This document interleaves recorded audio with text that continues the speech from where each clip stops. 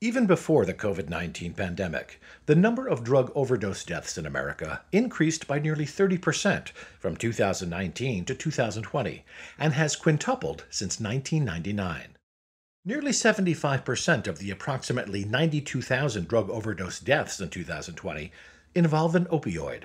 Unfortunately, researchers have observed significant increases in substance use and drug overdoses in the United States since the COVID 19 pandemic was declared a national emergency in March of 2020. Indeed, over 100,000 drug overdose deaths occurred in the United States in 2021 alone. Nearly 90% of individuals in need of substance use disorder treatment didn't receive any. Once again, the COVID 19 pandemic served as a negative accelerant presenting unique challenges for people with substance use disorders and those in recovery.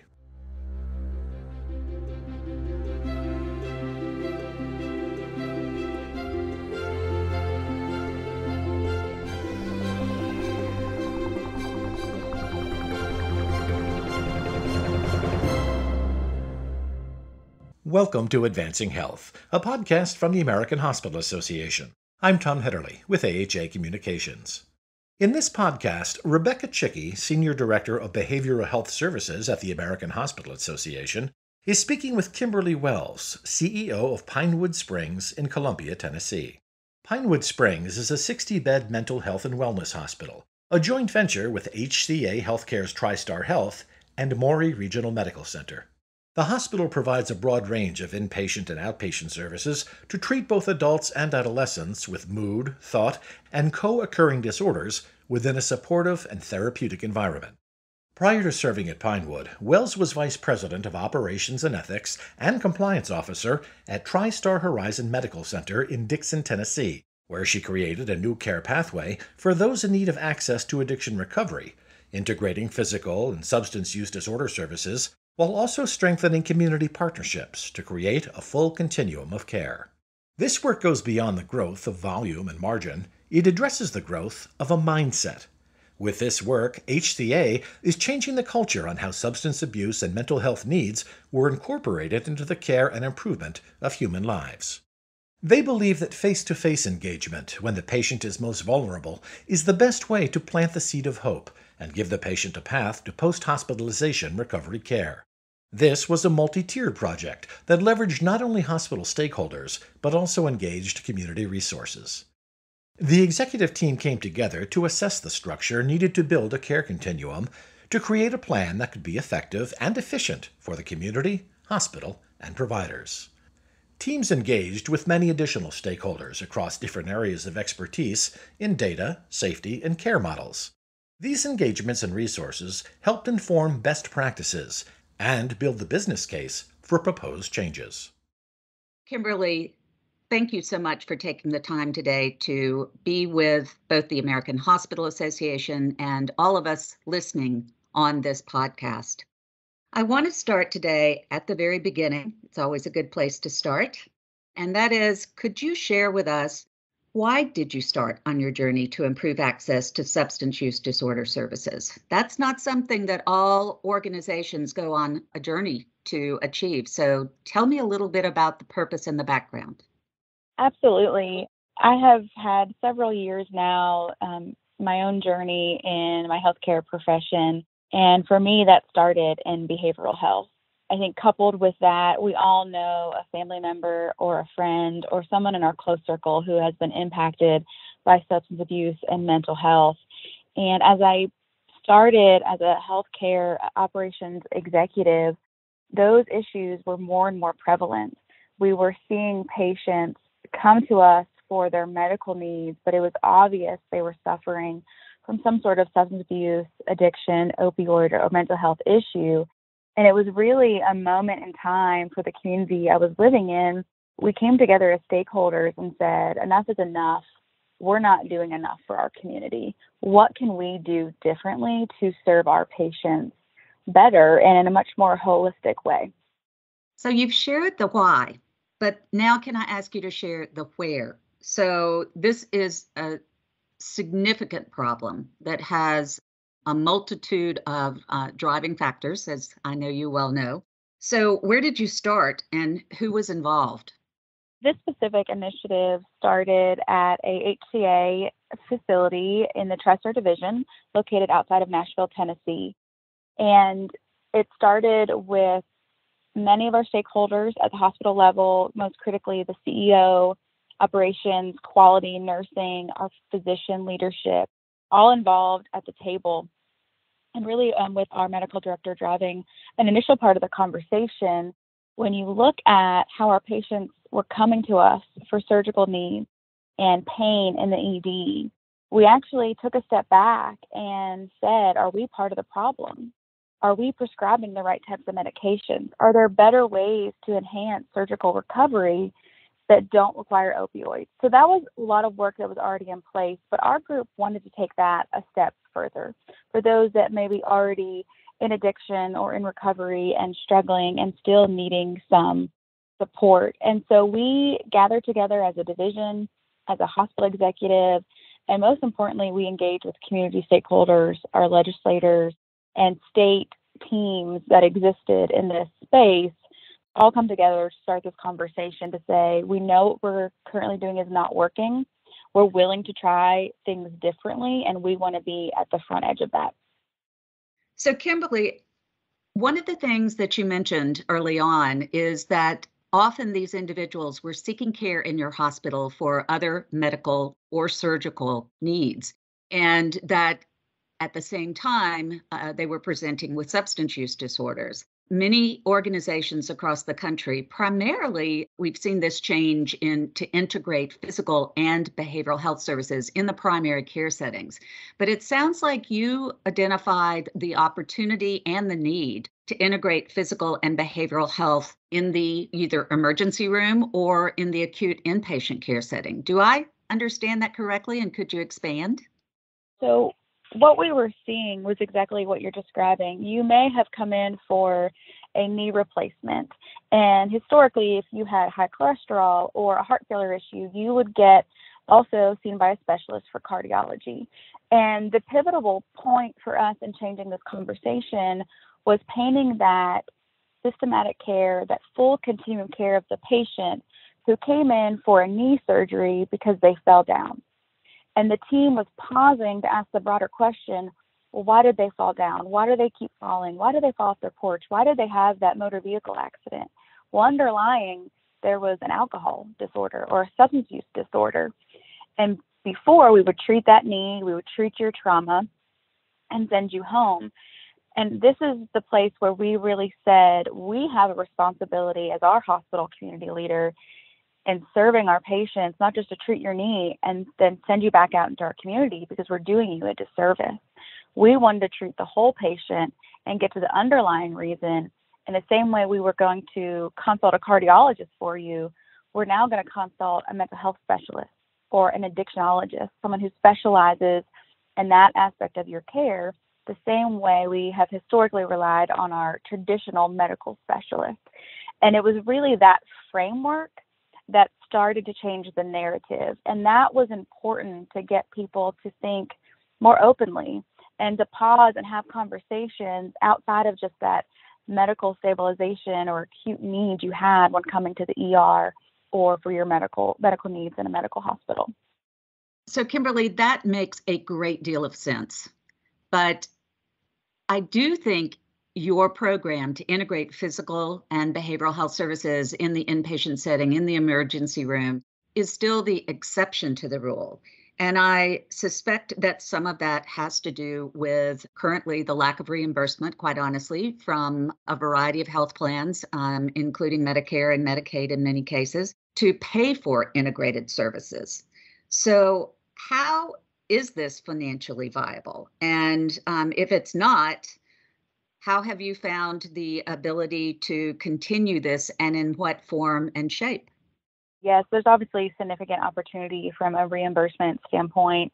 One of the unique elements when you look at an ED department, we don't turn patients away. It doesn't matter your insurance, if you're funded, if you're self pay, you have a need and you're going to be seen. And I think the differentiator for our program was that perspective that those patients are coming to us regardless of their ability to pay.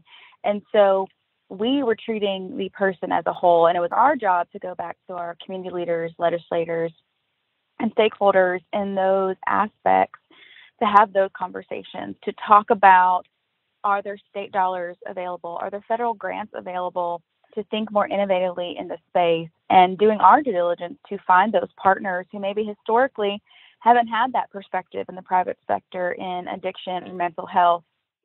The other element that I would say is the system I work for. I'm very fortunate that they see the importance to mental health, co occurring disorders, behavioral health needs, substance abuse needs, and they are expanding their footprint across the nation from freestanding facilities to outpatient services, trying to bring our locations to where our patients are. And I think that's part of the differentiator. We have to think about how we are going to meet our patients where they are, where our community members are. If it's in a rural setting, if it's a place where the only access they have is to a virtual session, I think that's one benefit I have seen in my field in the mental health and behavioral health facilities from the pandemic. We've been able to open up a wide variety of outpatient services virtually that previously wasn't there. And I hope that those federal funds remain because we have touched so many more lives in a broad, broad region that we would not have been able to without those telehealth capabilities and innovations that we've seen coming out of the pandemic. Fantastic. Now, if I recall correctly, you also said this started at what we would call a General Medical Surgical Hospital, this initiative. But you're now the CEO of Pinewood Springs, which is a freestanding psychiatric hospital, also part of HCA. So, can you tell me how you have strengthened or brought this program along with you in your new role and in your new community? Yes, I am very fortunate to be in my leadership position at Pinewood Springs. It's a brand new facility that sits between Huntsville and Nashville, and we're one of the only robust complex centers in a 125 mile stretch. And for me, that's very exciting because I get to challenge my team to say, how do we just not cover that region, but how do we go beyond that? And being connected with HCA allows us so many more connectivity points or access points, as I call them, with patient populations. And so we know as a medical system, we have large patient populations going to other hospitals for cardiology services, bariatric services, trauma, women's services.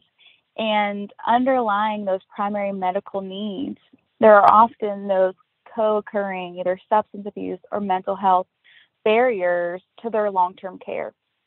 And we've been able to take this lens of that continuum of care and multiple stakeholders coming to the table to that program. We've been able to launch several initiatives since I've onboarded with Pinewood Springs, specifically in our urgent care and cardiology space. I think I shared the story with you that we started with our LVAD and transplant selection committee at one of our large sister facilities. And it was such an exciting conversation to be at the table with surgeons and specialists and the nurse practitioners and the clinic staff saying, we know this patient maybe has a history of substance abuse, or this patient has a history of generalized anxiety disorder that's preventing their BMI to lower to qualify them for the medical surgical need that they have. And I remember the very first meeting we had, we sat down and they were reviewing their patient cases, and the nurse practitioner and the surgeons paused and it was that exact example. They were reviewing their labs, they were reviewing their BMI. But to qualify for the next level of care through the LVAD and transplant progression for him, he had to lower his BMI. And the provider paused and looked up and said, He's not progressing in his BMI. But that's because he's coming into my office for every visit tearful. He has a history of anxiety. He just lost his mother. He's going through a depression state that's preventing him to move through this medical pathway. And they paused and said, Thank you for being here. And we were able to assess that patient and get them integrated to our portion of the care so it didn't delay him. We had another patient similarly had a history of substance abuse, had been reluctant to seek care previously so he could progress and qualify for that next step of his care. He'd been going through this for months.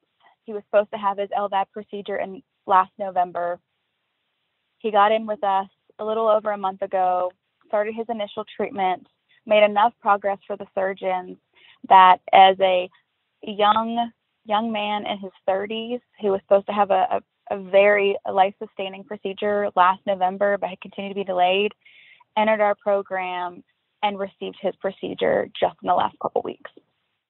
That is so fantastic. I mean, it you really are treating the whole person.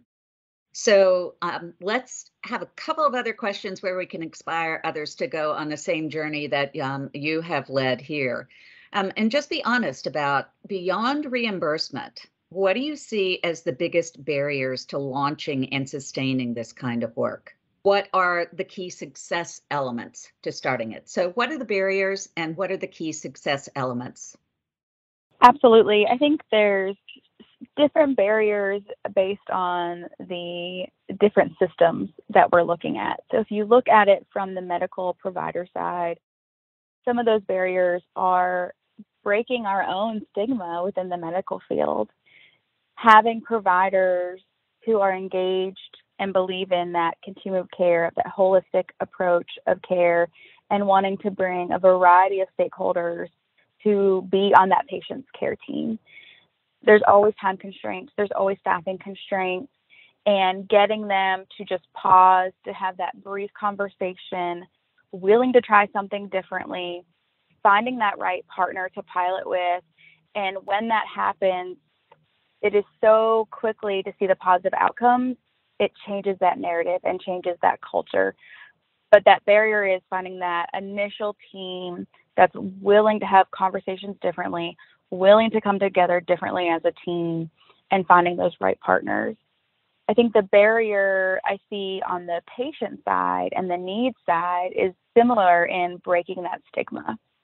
That we often as a community are are so okay with, oh, I have knee pain, I'm going to start with physical therapy. I have knee pain, I'm going to get that injection. Or if I have knee pain, I'm going to seek that surgical intervention.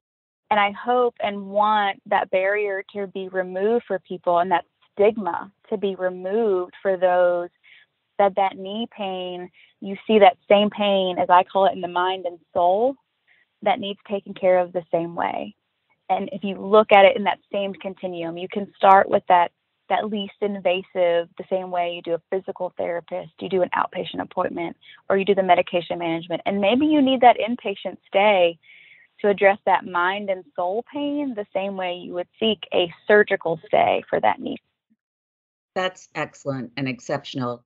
I didn't say this earlier, but as you were describing uh, the two patients as examples of individuals that you have helped, I had a huge smile on my face because I think everyone listening to this podcast, that's how they would want to be treated, address all of the problems and improve outcomes, reduce the length of stay. And I say that in a broad definition uh, the stay of getting back to full health, reducing how long that takes. So thank you for this.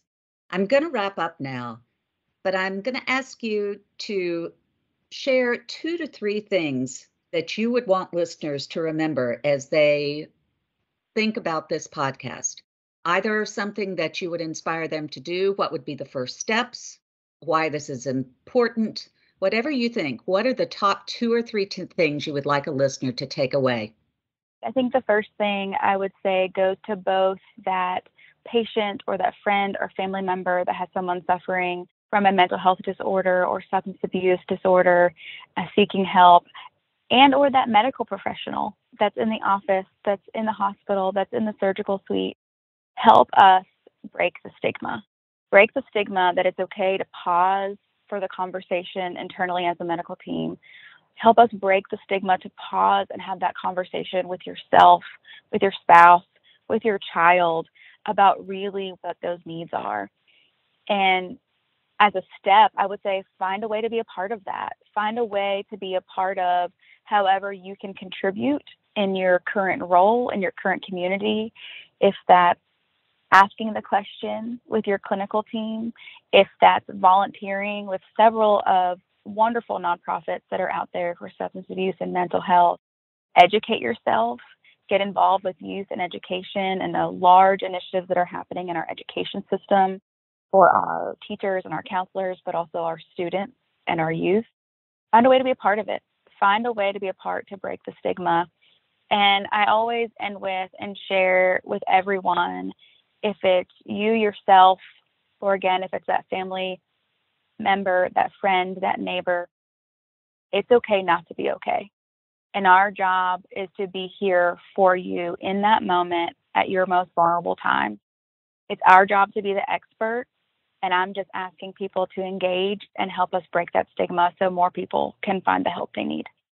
Kimberly Wells, thank you so much for sharing your passion, your inspiration, and the work that you and HCA are doing to go beyond the four walls of the hospital, working to improve access to recovery through community partnerships and through integrating physical and behavioral health care. We are very grateful for your time and your energy. Thank you so much.